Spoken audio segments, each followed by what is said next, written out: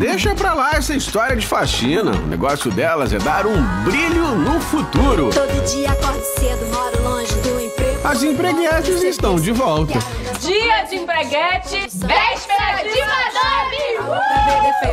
Dia. Cheias de sonhos. Pô, já passou da hora de eu batalhar minha carreira como cantora, né? Cheias de tretas. Encosta a mão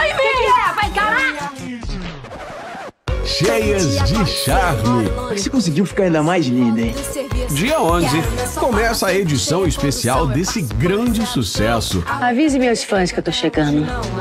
Agora, nas tardes da Globo, o show vai ser delas. Dinheiro compra apartamento, vida socialite. Toda boa, vou comer o As empreguetes vão estrondar!